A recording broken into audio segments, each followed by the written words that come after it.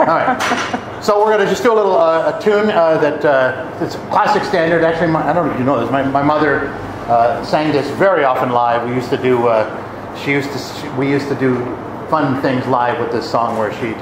Uh, the whole band would stop playing and we would just the two of us would, would do kind of play off of each other and stuff. But but it's a great classic song. We, we get to hear Christina Souza here uh, interpret it in her own way, Yeah. of course. So here's Pennies from Heaven.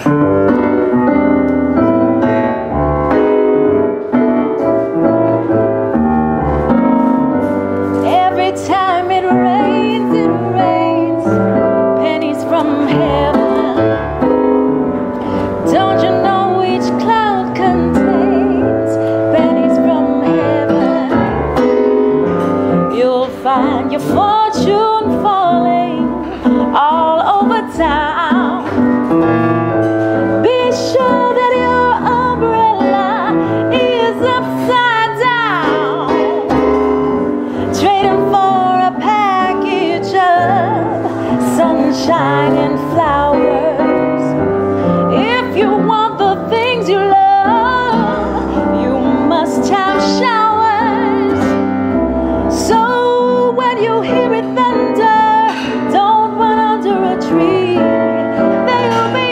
is from